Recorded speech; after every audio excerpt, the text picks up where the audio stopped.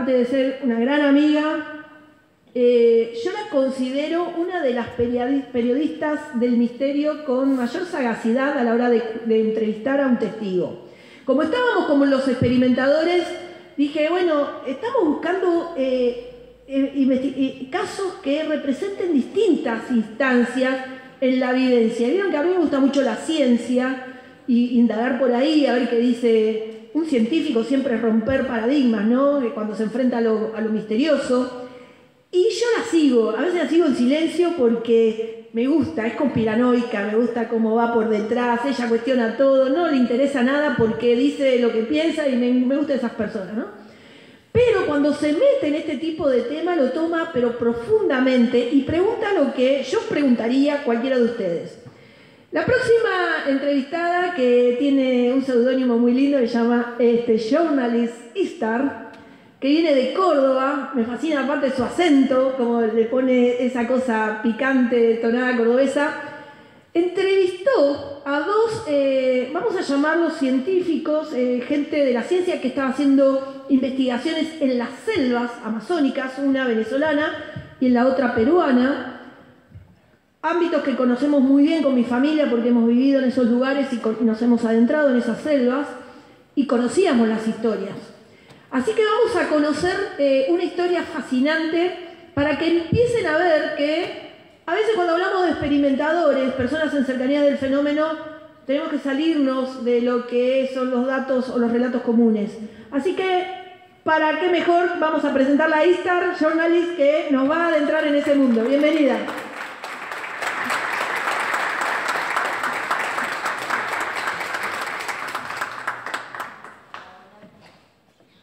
Escucho, creo. Ah, ahí está. Ah, era yo, era yo. Bueno, ¿cómo están? Espero que la estén pasando muy bien. Eh, la verdad, bueno, un placer nuevamente estar aquí con ustedes. Muchísimas gracias a Andrea, a Silvia y bueno, a toda la gente que fue parte de la organización eh, de este tremendo congreso, para mí el más importante de Argentina y uno de los más importantes de Latinoamérica. Así que bueno, un honor. Y bueno, en este caso eh, bueno, les tengo preparado, creo que están preparados, ¿no? Dos videitos, pero bueno, antes les voy a hacer una pequeña intro porque si no, no van a entender mucho. Eh, bueno, yo soy periodista, eh, me considero periodista de misterios, además soy licenciada en parapsicología científica, algo que siempre me ha ayudado con respecto a este tema, porque, y eso se los aclaro porque en estos casos que vamos a ver a continuación, es un factor muy importante, el factor paranormal, porque en la selva, que yo ya venía siguiendo de hace años algunos relatos, en la, en la sabana africana, por ejemplo, a través de muchísimas lecturas, a través de algunas personas que llegaron a mí que habían eh, tenido algunas experiencias bien extrañas en la, en la sabana africana. Eh, sin embargo, no lo veía como algo un poco distante, un poco lejano, más vinculado al tema de la brujería, de la magia, ¿no? Eh, un concepto que para nosotros es algo prácticamente ilusorio. Sin embargo, eh, si ustedes van al África y se internan en las comunidades del interior del África, eh, se van a topar con que la magia tiene algo mm, de mucha realidad, digamos, tiene un contenido eh, muy fuerte en la vida de las personas y es uno de los pilares fundamentales de lo que es el aspecto social de las comunidades. Bueno, esto mismo yo lo percibí en la Amazonía eh, cuando realmente comencé a ver que había casos muy extraños, algunos muy conocidos como el caso Colares, la Operación Prato, que fue este fenómeno que ocurrió en Brasil, y la verdad que me impactó mucho dar con esta historia, porque esta historia no es una historia que tenga un lado negativo, digamos, tiene que ver con eh, unas extrañas presencias en la Amazonía. Eh, hay que decir que este hombre que yo di con esta persona, que es el testigo principal de esta historia, pero igual van a ver otros testimonios, este hombre es un explorador a lo Indiana Jones. Es increíble que estas personas existen, por eso existen las películas, porque esta gente existe en la vida real. Y este hombre, desde, muy jovencito, comienza a internarse en la, selva, a compartir con las distintas comunidades indígenas. Él les llama, yo los llamo indígenas porque él les llama indígenas. Eh, sé que hay otra gente que no le gusta el término, que les llaman los originarios, pero él les llama los indígenas. Y él ha vivido con más de 40 comunidades contactadas y no contactadas. Y este fenómeno que vamos a descubrir esta, esta linda, este lindo mediodía eh, es extraordinario, porque es un fenómeno que se repite en absolutamente todas las comunidades de la Amazonía, tanto peruanas como venezolana y brasilera. Eh, bueno, este hombre también ha andado por otras zonas, como las Guyanas, también parte de las Guyanas, es decir que es un fenómeno que se da a nivel eh, general en lo que es la zona de la eh, Amazonía y de la selva. Y tiene que ver con unos extraños seres a los cuales los indígenas de Perú, por ejemplo, los llaman los gringos. Para ellos son los gringos. ¿Por qué? Porque ellos los identifican con, podríamos decir, con los yanquis, con una persona alta, eh, rubia, de ojos claros, de piel muy blanca y con cierto nivel tecnológico, ¿no? que para los indígenas muchas veces sabemos que todo lo que es tecnológico puede sonar mágico. Y para los indígenas, que esto es algo que siempre dice este testigo, que es eh, José Carlos García Almeida, él dice que para los indígenas cualquier cosa que ellos no entienden, que no saben de qué se trata, es algo espiritual.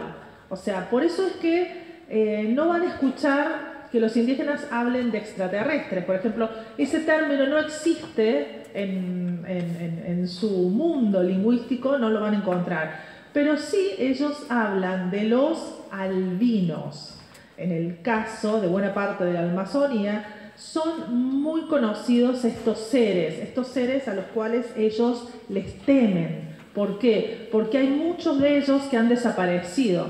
Eh, muchos indígenas desaparecen, algunos vuelven a las comunidades y afirman haber sobrevolado la selva, ¿no? haber visto las comunidades de arriba eh, y presentan algunos eh, fenómenos particulares, algunos de ellos lo van a escuchar, como una intensificación en eh, algunos procesos cognitivos. Es decir, de pronto un indígena tiene una desaparición de una semana, que para ellos son apenas unas horas, y cuando regresa a la comunidad, todo el resto de la comunidad se asombra porque es más inteligente, eh, tiene algunas otras eh, capacidades físicas incluso, ven que no se, no sé, que no se cansa, que no tiene frío, que no tiene calor. Bueno, todas distintas peculiaridades que este señor va, va comentando. Eh, y en el caso de Perú es un poco diferente.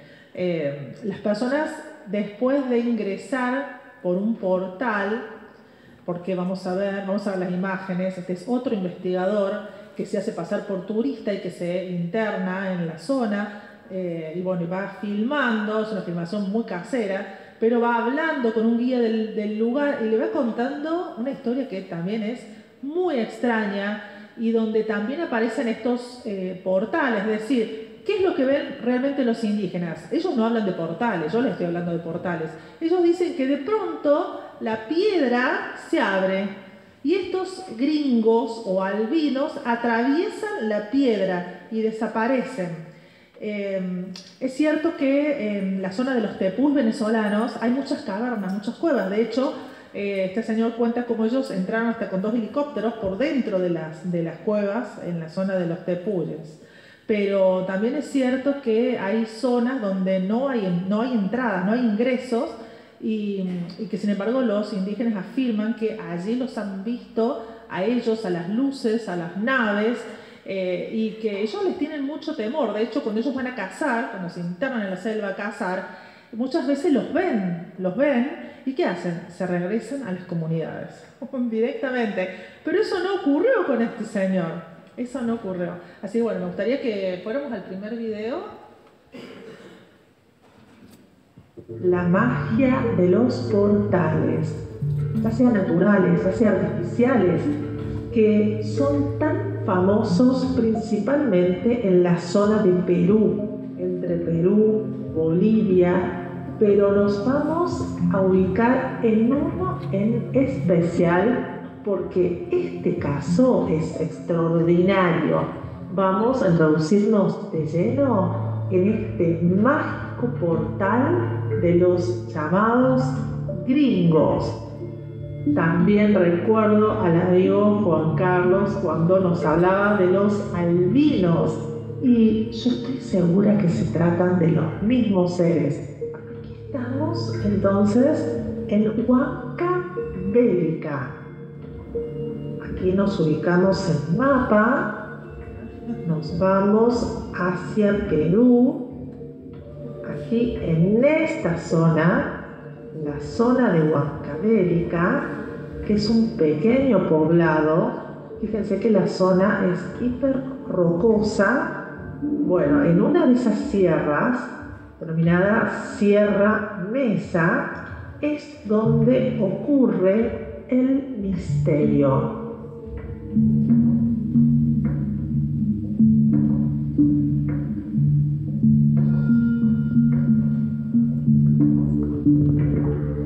Quiero saber también dónde queda esto, de que el, cerro se abre, pero la puerta donde se abre, donde paga la gente para que, para que aprendan a tocar guitarra, guitarra, arpa, violín, es allá.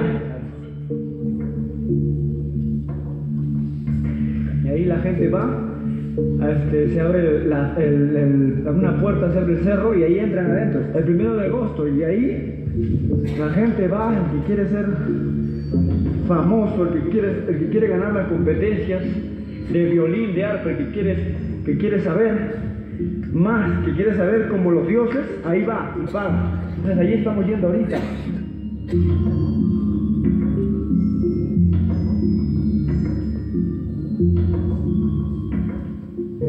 Ahí se ve claramente donde estoy apuntando, ahí es la puerta, ese es un tipo portón.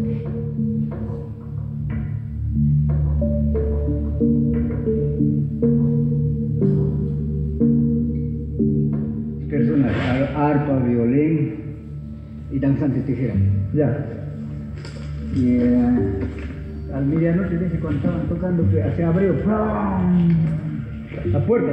La puerta se abrió. Eso no tienes que venir cualquier hora, ¿no? El primero de agosto a la medianoche. Medianoche, no es cualquier hora, no se abre cualquier hora. Ya. Se abrió, dice la puerta, que todos se escaparon, dice, aún más agarró. Pero cuando se abrió la puerta, ya. Salieron gringas abajo los aviones gringos en el estadio. Ya. Ahí la agarraron, dice, abrazando, lo metió adentro, dice.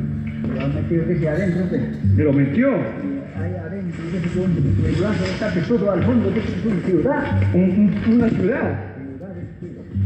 Adentro, este, ¿qué hay? Cuando entró adentro, una ciudad adentro, con, ahí hay canastas, dice, con oro. Canastas de oro. Bastante. Frutas clase de frutas hay. Entonces a estar como un calle que está entrando adentro. Ya. Y ahí la metió adentro de ese. Pues. Y a él ha enseñado a tocar eso. ¿Pero cuánto tiempo se ha quedado adentro? 30 días. ¿30 días se quedó adentro? Familia estaban preocupados ya de ese ¿La, la familia? Claro. Ya se oh. habrá muerto de. Ya. Acá está la puerta, se abrió. Esto se abrió. Ahí está, mira la puerta, mira. Después de 30 días, dice, la dicha ha enseñado muy bien para él. Y enseñó, eh, empezó a tocar su danzante, tejera hace nadie no igualaba al tío. Además era. Adentro es puro oro, ¿no? Puro oro, puros gringos. Ahí no hay como nosotros, así no hay. No hay. Puros gringos, adentro, dijo. Puros gringos como nosotros tenemos todos gringos, altos gringos, que está adentro ahora. Pero mira, mira, acá está la puerta, mira, esto está agrietado, mira. ¿Cómo va a pagar? Entonces una puñada de achita tiene que traer cada, cada vez cuando le toca pagar. Dice a una puñada de achita, así una puñada de achita, ya. acá cuenta un año. Ya, una puñada de acheta, un año. Una achitita es un año. ¿Un año o un día? Para ellos dice que es un día, pero para ti es un año. Si por ejemplo mil achitas, Ya, es ya mm, mil días. ya. Ya, eso tienes que recordar. ¿Y para cuántos años estás trayendo? Cuando cumple el año tienes que traer otra vuelta tu achita y eh, ya por acá Rincón pagas. Ya, Él paga. Ah, no entras adentro, por acá lo dejas abajo. adentro. Por acá abajito lo dejas. Ah, deja ahí montonado, entonces ya ah, a él le dice ya para tantos años es, digamos para 20 años. Y ahí dice 20 años tienes el Ya, y si no pagas, ¿qué pasa? muere. dice. Mueres, te da dolor de barriga, Dolor de barriga muere. O si no ya te trae el diablo, eh, mueres. Mueres. La magia de los portales, ya sean naturales, ya sean artificiales, que son tan famosos principalmente en la zona de Perú, entre Perú, Bolivia. Bueno, ese era el caso de Perú, obviamente. Bueno, voy a explicar, me decía Andrea que explique porque él habla de pagar, no es que uno va de excursión y tiene que pagarle al señor para que lo lleve al lugar. De lo que está hablando es de los pagos que hacen, que es muy común eso en la zona andina, este, en Perú sobre todo, pero en otras zonas también, en Chile también lo he visto, que hacen pagos a la tierra, pagos a la montaña. Bueno, recordemos que es eh, dentro de la cosmovisión andina, bueno, ellos creen que eh, las montañas, las sierras, eh, no son simplemente masas de tierra, sino que cobijan como una especie de espíritu o entidad mística llamada eh, Apu. Bueno, y que ellos, eso tocó y que ellos se, eh, se comunican con estos seres. Bueno, de hecho, he tenido ocasión de compartir eh, eh, varias jornadas con los queros, los famosos queros de los Andes de Perú, que, bueno, que estuvieron conmigo en Córdoba, bueno, hicimos muchos de, de estos pagos a la, a la Pacha, todo. De hecho, ellos a través de estos pagos también se vinculan con esa magia de la cual yo les hablaba. Ellos pueden manejar el clima, por ejemplo. ¿No? Los queros tienen como una especie de fórmula que a través de pagarle a la, a la Pacha, a la tierra, a Gaia, según como les guste, bueno, ellos de esa manera logran favores, ¿no? Como por ejemplo que llueva para favorecer las cosechas, etcétera, etcétera. Bueno, en este caso, de lo que este hombre habla es de que si vos querés atravesar esa, esa puerta, ¿no? Y llegar a esa ciudad que estaría del otro lado de esa montaña, donde estarían estos seres eh, altos, rubios, estos gringos, tenés que hacer un pago a la montaña y que de esa forma tenés que ir el primero de agosto a hacer el pago y que se te va a dar la, la posibilidad de que vos ingreses y que vas a salir de esa experiencia con más conocimiento. En este caso, hablaban de conocimiento musical, lo cual la verdad que a mí me llamó mucho la atención. Pero más allá de esta, esta versión de, la historia, que, eh, que es muy común en la cosmología andina, eh, yo creo que lo que yo destaco de esta historia es esa mención a estos seres, ¿no? Y que en ninguno de los dos casos los llaman extraterrestres, sino que hacen como una descripción, es decir, esto es muy conocido en Perú, bueno, de hecho, no sé si lo conocen a Anthony Choi, seguramente sí, él habla mucho de ciertos lugares de Perú donde hay eh, algún tipo de portal, donde las personas de pronto se encuentran en otro lugar que no conocen, o como que hay especie de puerta. Bueno, de esto habla mucho Anthony Choi. Pero bueno, en este caso, eh, esta sería la versión peruana de estas presencias que coincidiría dentro del mundo ufológico con los altos blancos, ¿no? Que por eso a mí me llamó mucho la atención. Ahora vamos a ver el otro video que ahora sí vamos a conocerlo José Carlos García Almeida, este hombre que vivió en la Amazonía, y que lo van a escuchar a él, eh, como él cuenta con sus palabras. Es muy cortito también el video, un par de experiencias, tuvo millones de experiencias, desde contactos paranormales, pero aquí va a contar dos, como para que ustedes lo vean, lo conozcan y sepan eh, de qué se trata esto de los albinos de la Amazonía.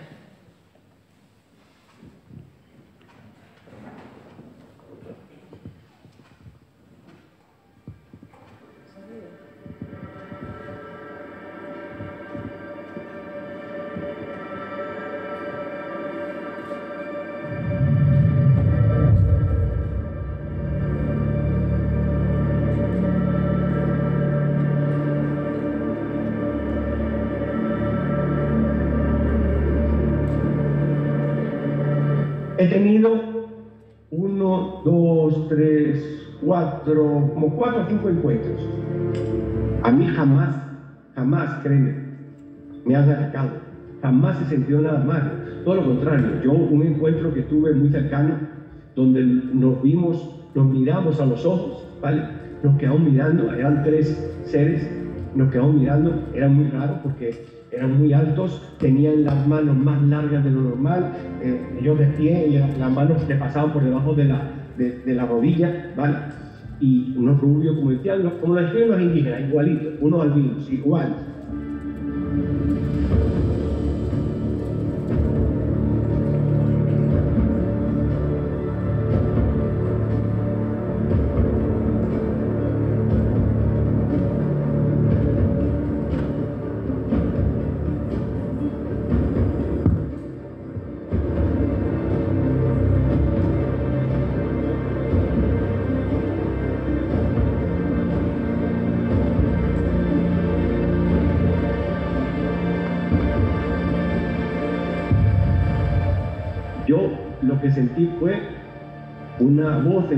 Que decía, somos amigos, no te preocupes, no, tú cálmate, no tengas miedo, que somos amigos. Eso es lo que sentí yo. Vale, yo me quedé ahí mirando porque estaba como estúpido. Eh, ¿Sabes? Es que te pasa eso y ese, el que dice, no, yo en una cámara y saqué fotos. No me lo creo. En ese momento te congelas, tu tiempo queda congelado, tú quedas congelado, todo, te quedas como impresionado ahí mirando y, te- y tu mente dice, eh, tu mente te repite muchas veces, ¿qué es eso? ¿Qué es eso? ¿Qué es eso? ¿Qué es eso? Así. Y claro, lo único que sientes es lo que te transmiten. Si te transmiten algo, si te dicen algo. A mí me transmitieron eso, me quedé tranquilo, mirándolos. Ellos después se fueron, yo me fui y se acabó todo. ¿Me explico? Y después también, en la vez que quise contactar yo, porque ya estaba hasta aquí, estaba con dos amigos más, estábamos encima de, como de una meseta, de una montaña pequeña, y a lo largo, en la sabana, que se veía larga, había como una cosa brillante, una cosa que brillaba mucho, como si fuera un espejo. Fernando dice, joder, ya los indígenas dejaron una porquería tirada por ahí en la, en la, selva, en la sabana. Y le digo yo, eh, esta no es zona indígena, por aquí no, esa no es una zona de paso indígena. Digo, a eso me parece extraño, eso, aparte que yo le decía él, eso para ser un cristal o un espejo o algo, tiene que ser enorme, porque nosotros lo estamos viendo, estaba como a 2, 3 kilómetros de distancia nuestra, y estábamos viendo el brillo, ¿vale? Que tenía, y dice yo, a ver ese brillo, bueno, debe ser una cosa enorme, ¿sabes? Bajamos la meseta esa, la montaña, subimos a la montaña, para acercarnos para ver qué era, porque si era algo, eh, ¿cómo se llama? Como puede ser algo, un metal brillante o algo que pueda el sol pegarle y, y fuego, era peligroso porque podía quemar toda esa zona, todo ese bosque, toda esa sabana. Entonces, bueno, vamos a ver qué es. Si no lo podemos llevar, no lo llevamos porque no lo vamos a dejar ahí. Fuimos a verlo y cuando estábamos llegando, estábamos, bajamos un- un- una loma, subí en la loma y después de subir la loma estaba la, la sabana, estaba el valle donde íbamos nosotros. Y al subir la loma así, nos, eh, no- bueno, es que ya primero se tiró a tierra, se tiró al suelo y. ¿Pero qué pasó?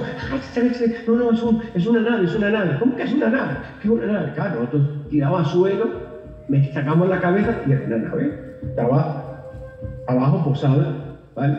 Una nave bastante grande donde estábamos nosotros y estaba como a, no sé, ponte 100 metros, 150 metros de nosotros, sabíamos perfectamente, estaba posada en el suelo y, y después subimos, nosotros pensamos que eran militares, a lo mejor eran militares haciendo pruebas y no nos interesaba tener contacto con ellos porque podía ser peligroso, porque a lo mejor eran, estaban haciendo, eh, probando alguna nave experimental o algo y no les interesaba y nos podían matar. Entonces nosotros nos quedamos ahí, pero levanté la cabeza, así al minuto, minuto y pico, yo levanté la cabeza y no, eran unos seres como los, los albinos. Y yo digo, pero son los albinos, ¿cómo que son los albinos? Me dice uno, son los albinos, ¿vale? Levantamos la cabeza los tres así poco a poco y eran efectivamente unos seres eh, altos, eh, igual, los albinos, con los eh, rubios, pelo largo, ojos claros, este, una, una, una textura eh, muy, muy suave y muy blanca y la- las manos muy largas, como, como, como lo había visto yo anteriormente. Esto yo lo había visto. Entonces yo le digo yo a, a ellos, mira, yo voy a hablar con ellos. ¿Cómo? Es que, coño, ya me lo he encontrado dos veces, tres veces, yo quiero saber quién son, vamos a hablar con ellos, vamos a ver qué podemos hacer. A lo mejor ni son, son, de, este, son de aquí, son terráqueos, no son extraterrestres ni nada, vamos a ver qué pasa. Es loco, que no sé qué y tal. No, que yo voy a ir. Claro, cuando yo me levanto decidido a ir, y te lo juro, me importaba tres pepinos lo que pasara. Le dije, no importa lo que pase. Si a mí me llevan a otro planeta o me sacan de aquí, usted le dice a mi familia que estoy en el espacio. Ah, hasta luego. Y cuando me levanto para ir hacia ellos, ellos ya no estaban, estaban la nave estaba levantando, despegando, y, nos vimos cómo despegó y cómo se perdió, cómo se fue. Y, y despegó, salió. ¿A qué distancia más o menos estaban del objeto? 100, 150 metros más o menos, 100 y pico metros. Poco, estaba poquita, esa nave perfecta. Lo veíamos porque primero que era casi mediodía, segundo que había un, un día esplendoroso de sol bellísimo y estaba muy clarito todo. Y después es una sabana que por el medio no tienes árboles, lo, que tienes es una sabana que donde estaban ellos. Claro. Sí, sí, sí. Sí, que lo vieron claro. Muy claro, muy claro. Ah. Y entonces, eh. bueno, yo, yo te puedo decir, yo no tengo ninguna, yo la única achaque que le puedo poner a ellos es eso que muchas veces siento que tengo, que me mandan mensajes o me dicen cosas o, o, o, cuando estoy muy preocupado por algo, me, me llegan las soluciones solas a la cabeza, me así,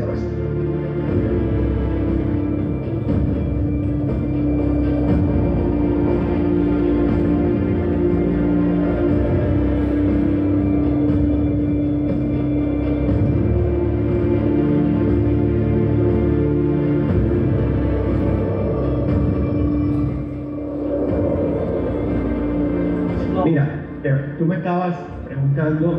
sobre efectos. Yo te voy a decir, yo muchas veces uno le pasan cosas y uno no quiere creer que son a consecuencia de, ¿vale? Pero yo sí conocí un, un, indígena, que yo creo que te lo conté ya en un programa, que lo, estuvo desaparecido un niño de 12 años algo así, 11, 12 años, que estuvo desaparecido casi tres días de la, de la cacería donde vive para el niño, el, niño físicamente estaba perfecto, estaba bien, no tenía problema ninguno. Pero para el niño había pasado unas horas. El niño no se había dado cuenta del tiempo que estuvo desaparecido. Unas horas, para él pasaron unas horas. Entonces, él, su tiempo se paralizó. Pero nosotros en el caserío, porque hablé con los misioneros, hablé con, con, los padres de él, con los indígenas, eh, eh, es más, quien hizo investigación sobre eso fue un gran amigo mío, este, Roberto Marrero, y, cómo se llama, y, le preguntó al niño, que por cierto me interrogó tanto que yo ya me, me sentí incómodo yo, y le dije, no, Roberto, es un niño, tranquilo, no, no, pero tenemos que sacar todo, tranquilo, cálmate, es un niño, un señor. Y el niño nunca, de todas las preguntas que hicieron, se por, por adelante, por atrás, por arriba, por abajo, siempre la misma versión, siempre. Pero él nunca aceptaba que habían pasado tantos días. Entonces le tus padres estaban muy preocupados estabas desaparecido, pensamos que ya te iban a encontrar, que te había a lo mejor agarrado una anaconda, o, o qué sé yo, te habías metido, te habías caído por un barranco y te habías eh, muerto, o te había agarrado un, un, jaguar o algo de eso. Y el niño nos miraba como diciendo, ¿pero de qué me habla? El niño miraba como si pasaron unas horas. No, para él habían pasado unas horas. Para, para nosotros no, para nuestro tiempo habían pasado tres días pero para el niño había pasado unas horitas. Y, y, el, y, el, único, para él pasó unas horas que salió, que estuvo con esos seres, que él lo describió, parece ser que él se portaba muy bien con él, que eran muy, muy amigables, le, le, le, enseñaron el poblado de él por encima, él dice que pasó volando por encima del poblado, que se lo enseñaron, que era una persona y que no se acuerda de más nada, pues, y que, se lo, que lo dejaron prácticamente cerca del poblado donde donde él iba caminando a su poblado, porque lo dejaron cuando lo dejaron, lo, lo consiguieron cerca del poblado y ahí mismo lo dejaron. Y no tenía... Estaba bien de salud, digamos.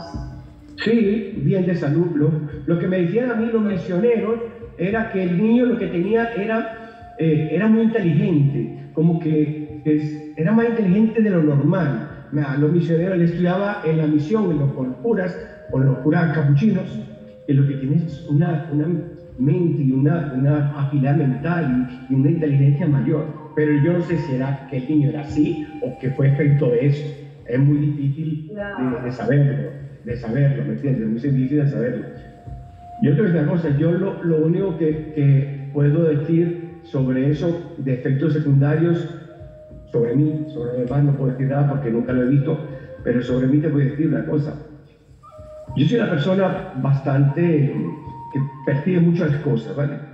A raíz de eso, a raíz de que yo tuve esos encuentros en la selva y me pasaron varias cosas, como que se me agudizó eso, como que tengo un, un sexto sentido. Yo pienso una cosa y después que la pienso pasa. Es como que me adelanto a algo que va a suceder, ¿vale? Yo estoy hablando con una persona, por ejemplo, y te decir una cosa, yo eh, percibo si la persona me está contando una mentira, no me está contando una mentira, si es buena, si es mala, percibo todo.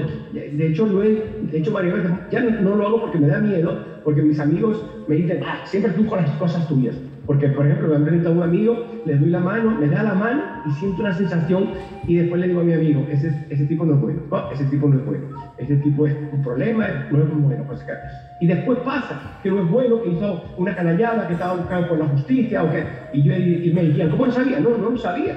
Simplemente es una percepción que tengo. Un sexto sentido que te dice, por ejemplo, como una voz, venga, cuidado con eso, por ahí no te metas, eh, por ahí no vayas, eh, cuidado con aquello que va a pasar. Y después pasa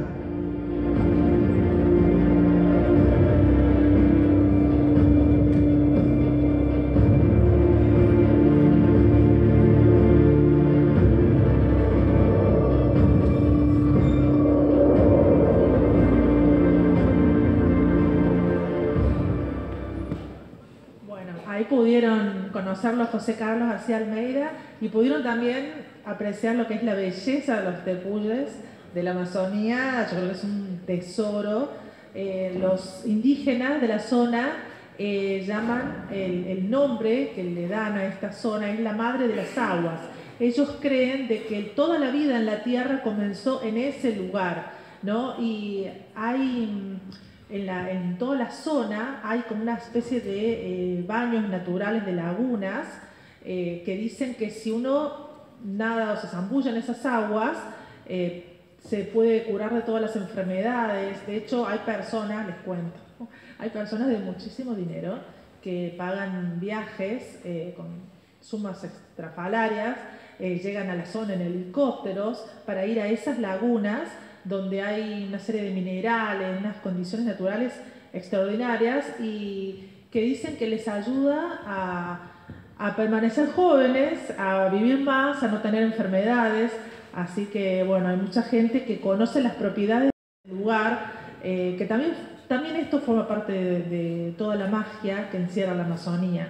Y bueno, ahí ustedes lo pudieron escuchar. En realidad, esto es una décima parte de toda la historia de este hombre. Ustedes no se imaginan la cantidad de experiencias que él ha vivido eh, con estos seres, con el fenómeno en sí, y no solamente él, eh, los militares de la zona. Eh, infinidad de experiencias desde paranormales atravesando portales, teniendo que retirarse del lugar, fenómenos extraños de la naturaleza, también eh, hay un caso que no lo, no lo, incluí de una sanación muy importante de una, una, niña de una comunidad que había sido picada por una culebra eh, y que hubo un fenómeno extraño ahí que de pronto tuvo una sanación espontánea después de haber vivido ese fenómeno.